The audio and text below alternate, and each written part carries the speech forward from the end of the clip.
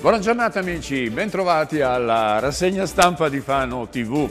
Oggi è sabato 9 luglio 2023, anche una settimana volge al termine, noi poi ci proiettiamo con prossimo, la prossima domenica, domani, perché sarà una giornata molto intensa e molto particolare.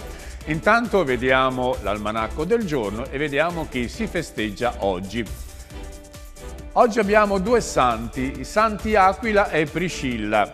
Erano marito e moglie, e furono martiri, furono martirizzati, ma erano discepoli di San Paolo. Erano fabbricatori di tende, lo ospitarono, eh, l'Apostolo, nella loro casa a Corinto. Poi lo seguirono anche nelle sue peregrinazioni, anche a Efeso e in altre località. Collaborarono con lui alla diffusione del Vangelo e poi ovviamente subirono il martirio come il loro maestro i santi Aquila e Priscilla. Le previsioni del tempo, le previsioni del tempo. Oggi ancora bel tempo su tutte le marche con bel sole splendente per l'intera giornata. Non sono previste piogge nelle prossime ore. I venti saranno al mattino moderati e proverranno da ovest le temperature tra i 19 e i 27 gradi quindi probabilmente avremo anche domani una bella giornata in modo che questo weekend sarà, eh, in questo weekend sarà possibile trascorrere una bella vacanza al mare. E di questo chiediamo conferma a Mauro Talamelli dei Bagni La Baia, la Baia Metauro. Buongiorno Mauro. Buongiorno Massimo, buongiorno a tutti. Allora, è lecito sperare in un bel weekend di sole eh, per sabato e domenica al mare? Le previsioni mettono bellissimo tempo anche fino a metà della prossima settimana. Ah, finalmente potremo godere di un po' di pace senza quegli acquazzoni improvvisi che hanno un po' rovinato le vacanze nella settimana scorsa. Allora, un weekend di solito aumentano le presenze in spiaggia. Uh, come ti prepari per sostenere questi due giorni, Mauro? E niente, noi siamo qui con la spiaggia tutta perfettamente pulita, a posto e preparata appunto per l'affluenza di tanta gente. La domenica soprattutto si riempie la spiaggia. Senti, la tua spiaggia è una spiaggia ghiaiosa, immagino, non c'è sabbia, vero?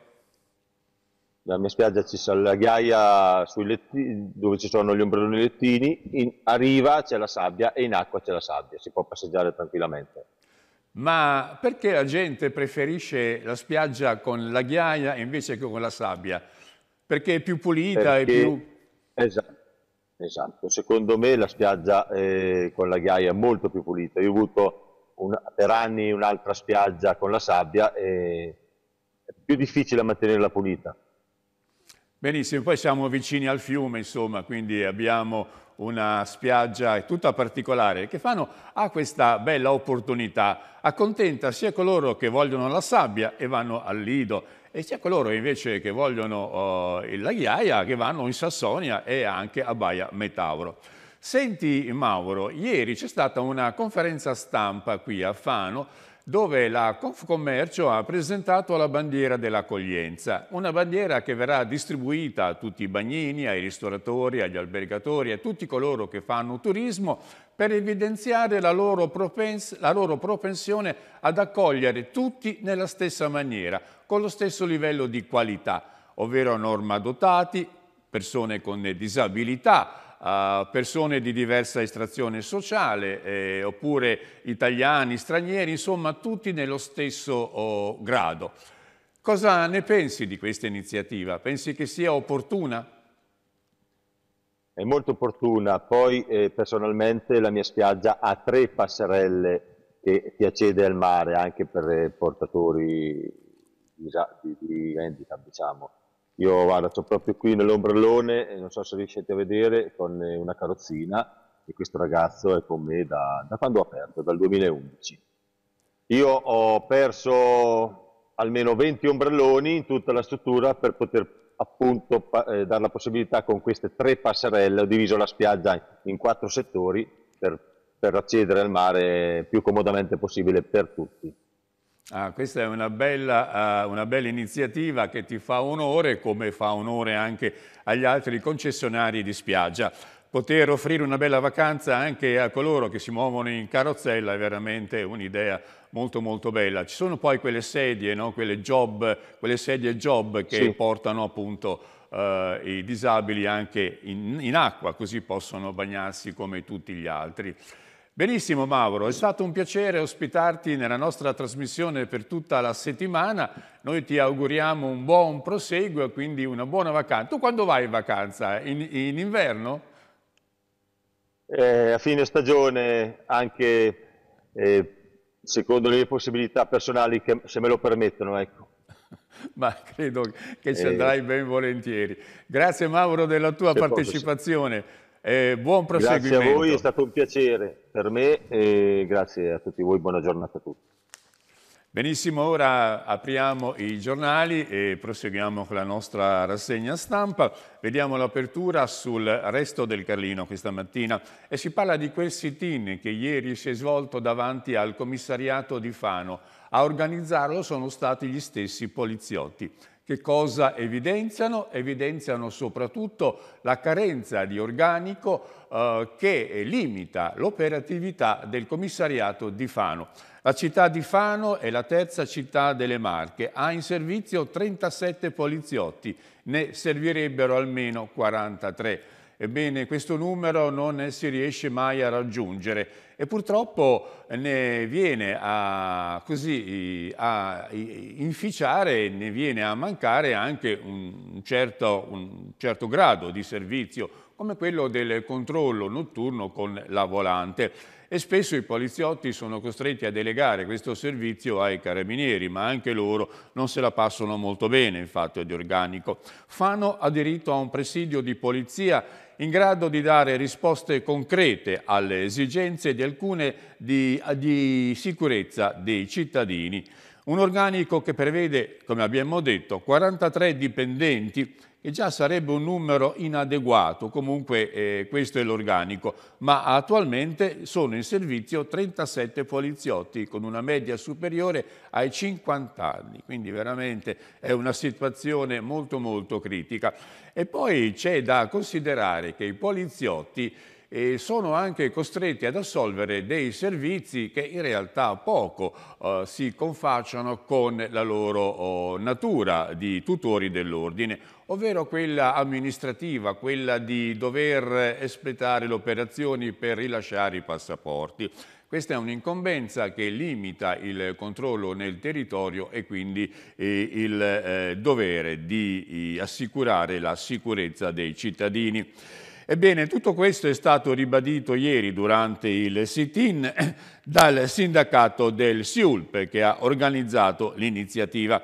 Ed erano presenti molti esponenti politici locali, a partire dall'onorevole Baldelli, l'onorevole Baldelli, poi c'erano esponenti di Fratelli d'Italia come Montalbini, Del Vecchio, c'era eh, Cecchi dell'Udc, Tarsi e Bergoglio, sempre di Fratelli d'Italia, Pollegioni dell'Udc, Brandoni della Lega, Di Tommaso di Forza Italia, Vitri e Fulvi del Partito Democratico, quindi c'era sia a destra che la sinistra.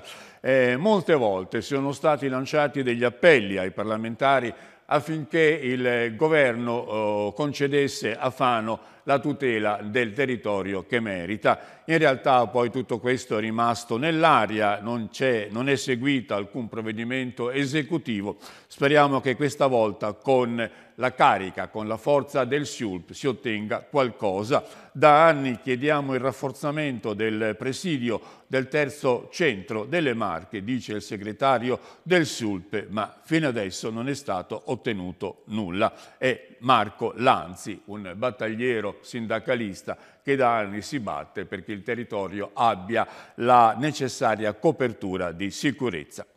Ed ora parliamo dell'avvenimento di domani.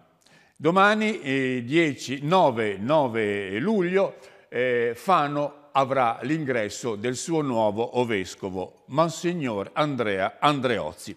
Il nuovo vescovo arriva a Porta Maggiore ad accoglierlo anche il sindaco Massimo Seri.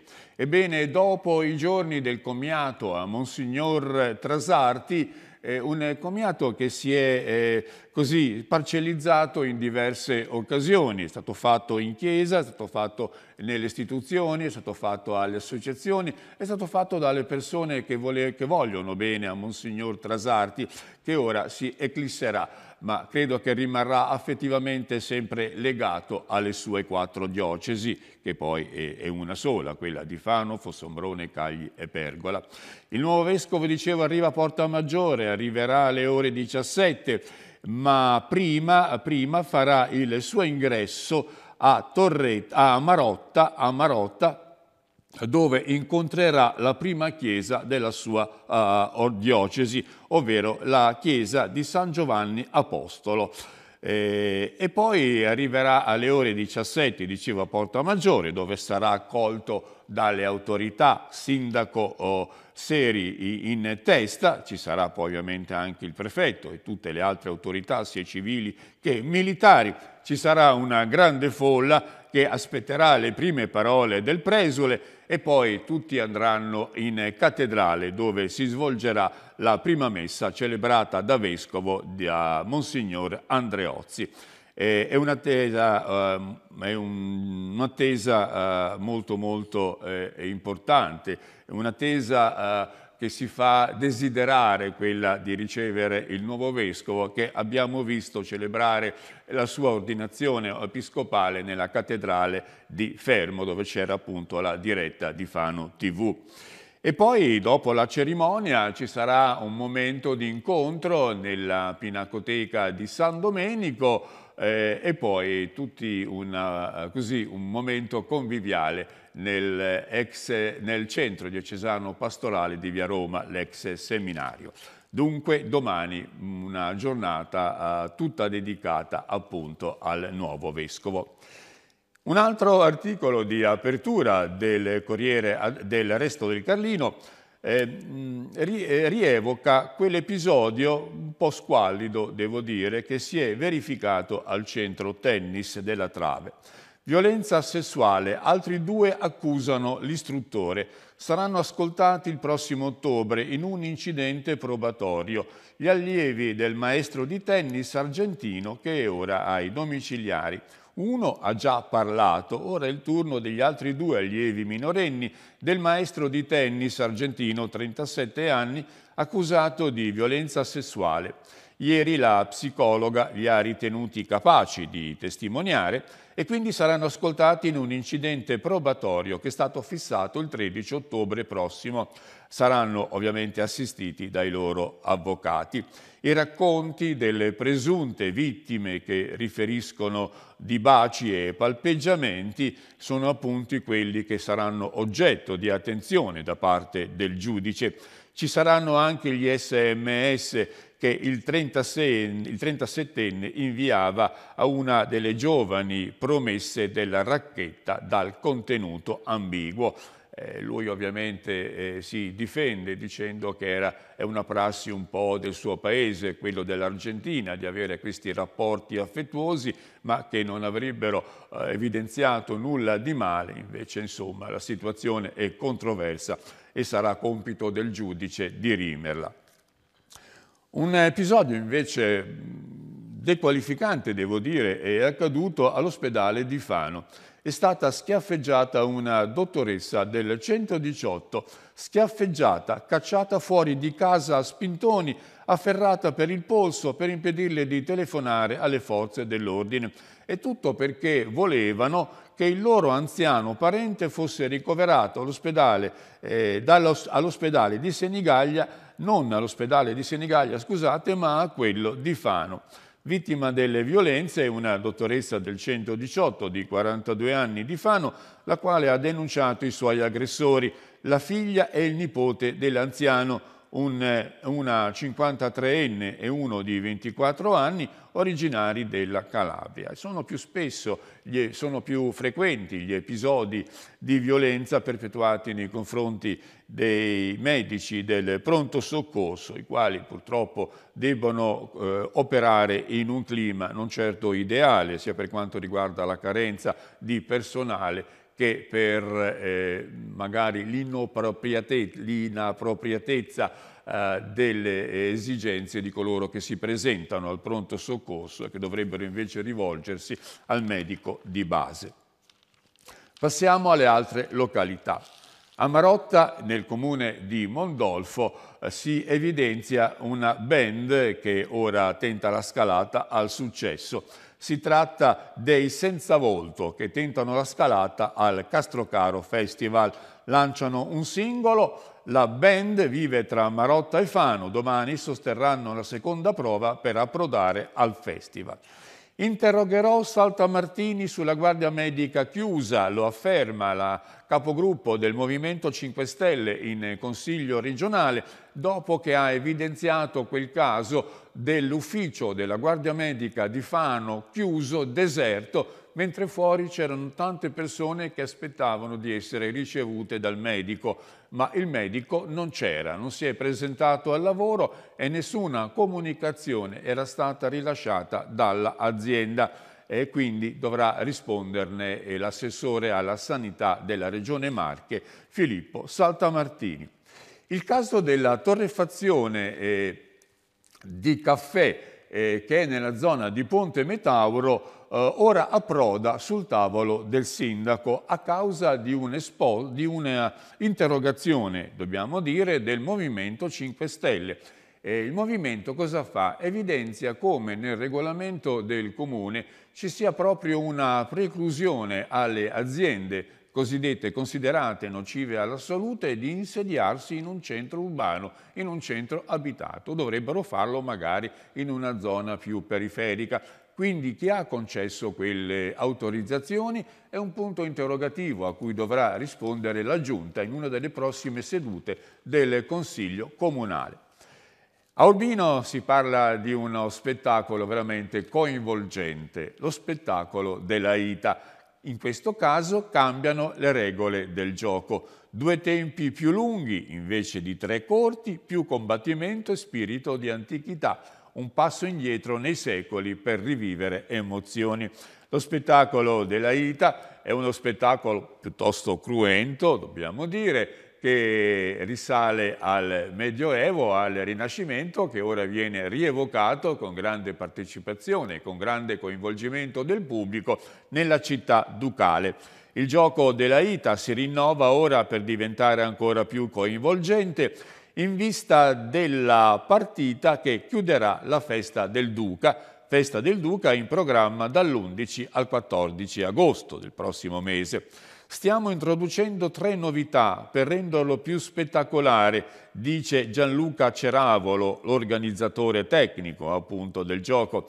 Abbiamo fissato un limite massimo di età di 55 anni per ridurre il pericolo di infortuni. C'è poi un ritorno ai due tempi che saranno da 20 a 25 minuti. La partita è molto stancante, richiede uno sforzo fisico considerevole e noi giocatori rischieremo di arrivare provati alla terza frazione rendendola meno interessante. Inoltre abbiamo visto che un incontro strutturato in due tempi coinvolge di più il pubblico e quindi ci saranno queste novità prossima, uh, il prossimo mese. A Cagli la minoranza è in rivolta, no a quei parcheggi blu. Sbagliati anche i posteggi gialli con il comune chiamato a pagare. È il gruppo consigliare di minoranza, il futuro in comune, che espone la sua protesta. Protesta contro 250 stalli blu a pagamento che sono stati previsti praticamente eliminando l'offerta dei posti liberi eh, si sa che ci deve essere sempre un equilibrio tra il parcheggio libero e il parcheggio a pagamento. E in questo caso a Cagli, secondo gli esponenti dell'opposizione, i posti liberi sarebbero nettamente in minoranza. Gli stalli gialli, destinati a residenti e commercianti, sarebbero stati poi del tutto insufficienti rispetto agli utenti teorici, circa 570 famiglie residenti nell'area.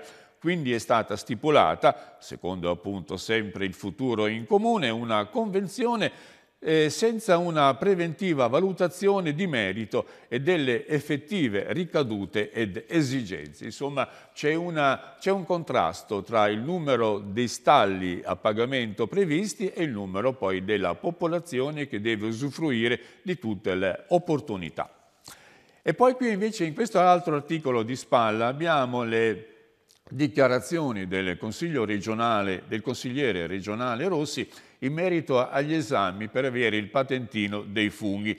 Ci sono state delle rimostranze nei giorni scorsi perché si diceva che questi esami erano troppo gravosi, che era difficile superarli, che bisognava rispondere a tante tante domande e, e poi il, la casistica era veramente infinita. In realtà Rossi dice che per tutelare la salute ed eliminare il rischio di restare avvelenati eh, sulla complessità dell'esame bisogna sapere distinguere i funghi e se i funghi sono tanti bisogna che i cercatori li conoscano bene, altrimenti rischiano la loro salute e la salute degli altri. Questo per quanto riguarda il resto del Carlino. Ora diamo un'occhiata anche al giornale per quanto riguarda Pesaro. Il resto del Carlino dedica pagine e pagine e pagine al decesso di Rodolfo eh, Furlani.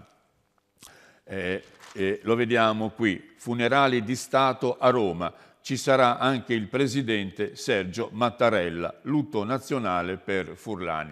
Vediamo quante pagine dedica il giornale a questo personaggio. Lunedì l'ultimo saluto a Forlani, funerale di Stato con Mattarella. Gli amici Silvio e Aido, poi quell'incontro. Sei sicuro che sei bravo, come dice Agide? L'ex leader DC era cresciuto anche a fianco di Fava e di Giorgio. Anche la pallacanestro è sempre stata una passione, il ricordo di Bertini. In questo caso si ricorda Forlani il tifoso, ma anche lo sportivo, ovviamente tutto da giovane, e poi il suo ingresso in politica nella DC. L'epopea di Via Manzoni, un altro fatto della vita di Forlani, di Arnaldo Forlani, l'ex DC Gaudenzi, quella via tra politica, calcio e azione cattolica, il pilastro dell'opposizione bianca in consiglio dei decenni passati. Ebbene Arnaldo Forlani qui lo vediamo con la sua famiglia, anche qua lo vediamo con la moglie e i figli. Lavoro, aziende, filantropia, quando la provincia intera bussava all'onorevole, aiutò anche l'università. Forlani, nonostante poi che emigrò a Roma, non ne dimenticò mai il suo territorio e quindi eh, fu sempre presente, cercò anche di valorizzare l'economia della provincia di Pesaro Urbino. E allora passiamo ad altre notizie, parliamo dell'isola pedonale e della musica nella notte, due componenti che devono essere eh, così equilibrate per far sì che la musica si contemperi con la necessità di riposo dei vacanzieri in modo da far sì che Pesaro capitale della cultura del prossimo anno possa ospitare in eh, accordo tante tante persone. Pesaro deve essere così, ma rafforzeremo i controlli ai locali. L'assessore alla sicurezza Enzo Belloni dice mi risultano che siano state fatte sette multe per lo sforamento degli orari. Questo vuol dire che i controlli ci sono, non è vero che i controlli mancano. Gli albergatori però protestano per il traffico vietato e soprattutto per il rumore che arriva dai locali del litorale. E ancora la polemica monta, ormai monta da diversi giorni. Palazzo Mazzolari, una gara per tre, sarà il primo appalto integrato, ovvero l'appalto in cui chi vincerà appunto questa gara dovrà redigere anche il progetto definitivo ed esecutivo poi completare i lavori a metà del 2026, così come accade a tutti i lavori, a tutti gli interventi che usufruiscono dei contributi del PNRR. Due fratellini a Naspano in mare, i carabinieri si gettano e li salvano, un episodio che ha destato grande emozione, questo accaduto ieri a Pesaro. Il fatto è accaduto al Lido dell'Arma. I bambini sono stati poi soccorsi dai sanitari del 118. Il primo ad essere salvato è stato un bambino di 8 anni eh, che si era spinto magari un po' al di là di quella che era la zona di sicurezza e non riusciva più a rientrare a riva. Si è gettato un carabiniere che era in borghese in quel momento e quindi è riuscito a, a salvare e a portare a riva il ragazzo. Ebbene, vedo che il tempo ormai mi sta per scadere, purtroppo siamo costretti a chiudere i giornali e a darvi appuntamento a lunedì prossimo alle ore 7. Grazie per l'ascolto, a risentirci.